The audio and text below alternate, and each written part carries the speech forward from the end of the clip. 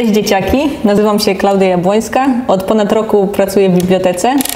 W ramach projektu Polany Kultury e, nabyliśmy takie oto e, cudeńka, klocki z e, multicentrum, dzięki którym możemy prowadzić zajęcia, z, na których zbudujemy z klocków różne helikoptery czy karuzele, a także możemy zaprogramować za pomocą takich oto urządzeń i możemy wprawić w ruch na przykład śmigła lub y, samochody.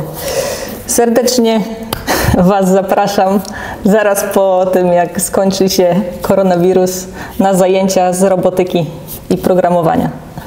Tu właśnie układam z klocków helikopter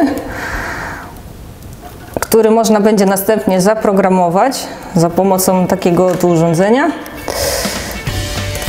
I dzięki temu będziemy mogli y, zaprogramować y, helikopter tak, żeby śmigła się ruszały.